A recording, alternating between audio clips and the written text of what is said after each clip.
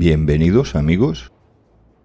A mucha gente le gusta el segundo conflicto a escala mundial por su afinidad a lo militar, a la historia o a ambos.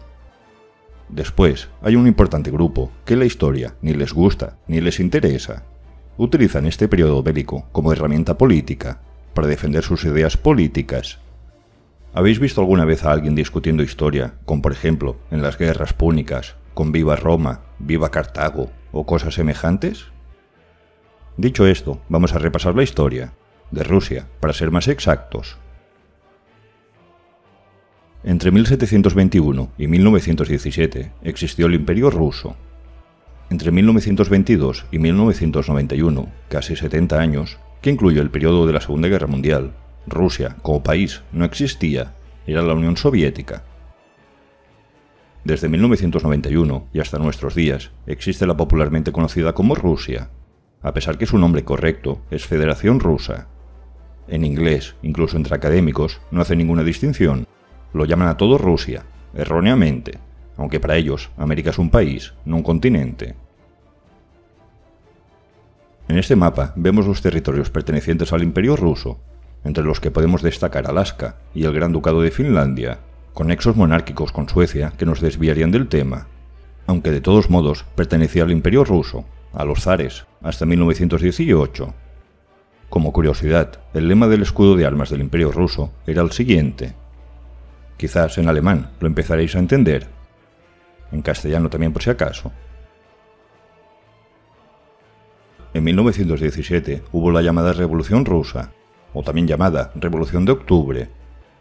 Básicamente, en un bando se enfrentaban los bolcheviques, liderados por Lenin, comunista, y que se convertiría en el primer líder de la Unión Soviética. Al otro lado estaba la Rusia zarista, el Imperio ruso, también llamados como Movimiento Blanco o la Rusia Blanca. La expresión Viva la Madre Rusia había sido y fue utilizada por el Imperio ruso y por la llamada Rusia Blanca, los que eran enemigos de los comunistas.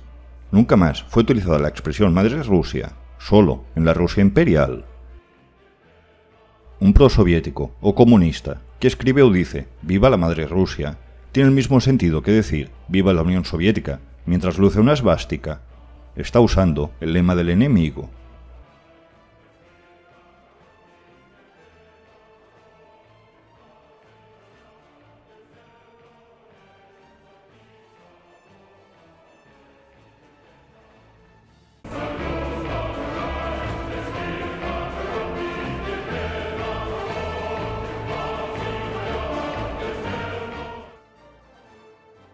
La expresión Madre Rusia, a pesar de ser muy popular y conocida, murió con el Imperio ruso. La figura materna de la patria continuó siendo utilizada por la Unión Soviética, pero era llamada Madre Patria, como todos los monumentos erguidos en las ex repúblicas soviéticas. Todos ellos, Madre Patria, no Madre Rusia. La expresión Madre Rusia hace más de un siglo que no se usa, o mejor dicho, se usa incorrectamente. Desde entonces es la Madre Patria,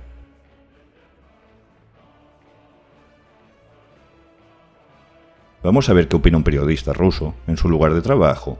El link lo dejaré fijado en los comentarios. ¿Los rusos de hoy en día llaman a su país de madre Rusia? De hecho, no lo hacemos.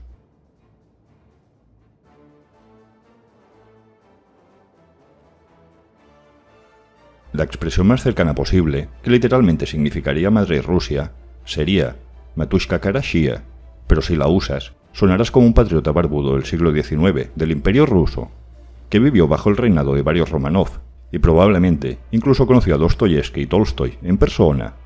Nadie dice eso, a menos que sea irónico, e incluso en este caso es extraño y no muy divertido. Ahórrese la vergüenza, no lo diga.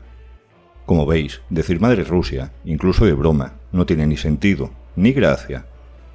La expresión Madre Rusia, a pesar de ser muy popular, es completamente incorrecta, a menos que os refiráis al Imperio ruso. Ya está para defender ideas políticas, no está de más, estudiar historia.